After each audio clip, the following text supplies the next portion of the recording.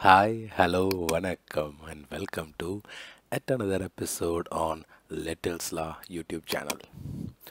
Today, in this video, we are going to see about lr underscore eval underscore json, and this is the load runner utility function which we use to deal with JSON request and response. We'll see how to use it and what are all the uses of LR eval JSON in this video. So before we move on to the video, this is me, Vasant Shanmugam. I request you all to subscribe to Little Law YouTube channel. If you have not subscribed yet, please do like, comment your questions and feedbacks in the comment section and share the video with your friends. So what is this LR eval JSON?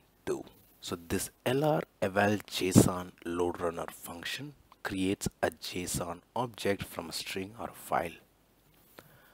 And this LR eval JSON parses a JSON string, creates a JSON object and stores the handle of the object in a parameter and we can even display that as a response message in a structured format and that is what we are going to see now in this video. So before we start let's have a request.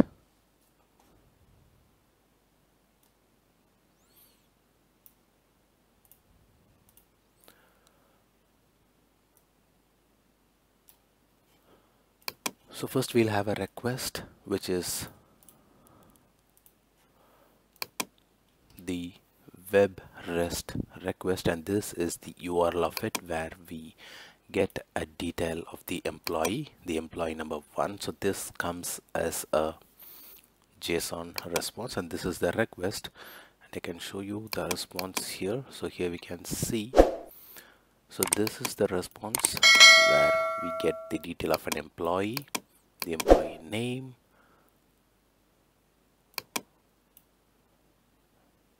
the employee salary, his age, and then the final message. So this is what we get as a response. So let us execute this and see how does it come or what do, what do we get in the response. So when we execute this request, that is the JSON request,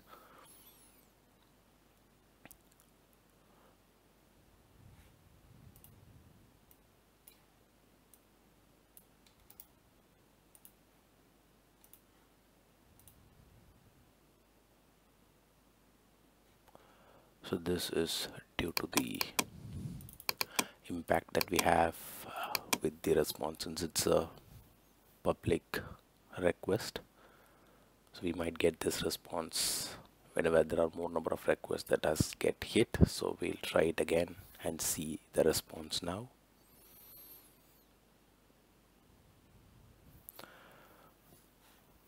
So now we can see here the script has passed but we don't but we do not get any response in the output window. So what are we going to do next? So the next step is going to be we are going to correlate the value. So what are we going to do is like we are going to fetch all the value with this name output. So any value that comes as a response is going to be in the output value since we have the left boundary and right boundary as the first and the last. So the first character is going to be the left boundary and the last one is going to be the right boundary. So any value that comes in the scope of the body will be taken as the response and that will be stored in the value which is output the next one so here we are going to use our lr eval json.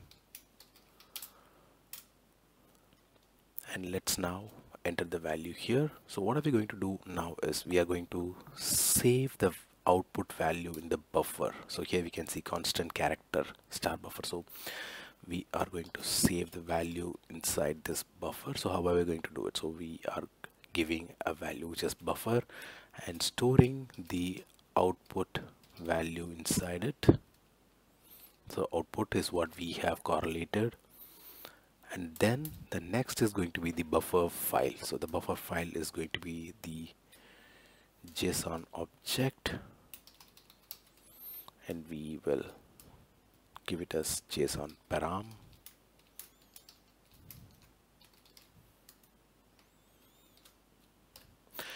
so this is going to be the simple syntax. So what did we do here? So we have saved this output value in the buffer. And we are giving or we are passing that as a JSON parameter file.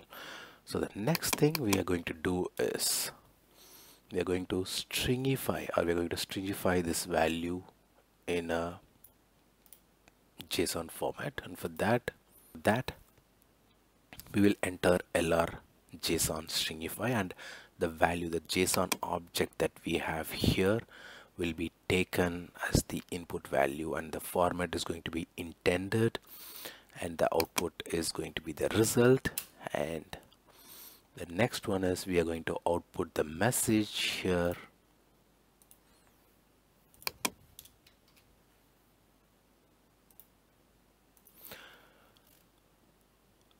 as the result. So first thing what we did is we are hitting the request and we get the response and the response is correlated here in the step 2 using the web reg save param underscore x. Under this we extract the complete value. And then the third step is we are saving the output as a buffer in lr eval json with the json object json param and then that particular JSON object is sent into the JSON stringify where we format them into the intended value. And finally we output that in the message as the result. So this is as a five step process and we did that successfully. So let's run the script and see what happens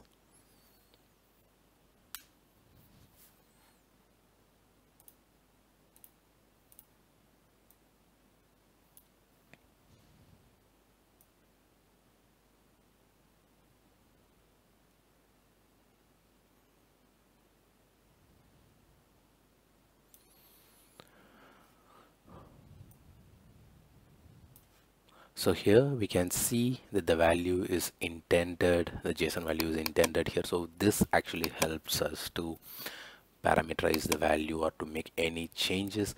But one thing we have to remember is the return for the function returns 0 on success and minus 1 on failure. And there is no parameterization applicable to this function. So any value that we extract here we can use it by extracting it and then we can manipulate it. But there, there is no chance of parameterizing to this function is possible. So that one thing we have to remember.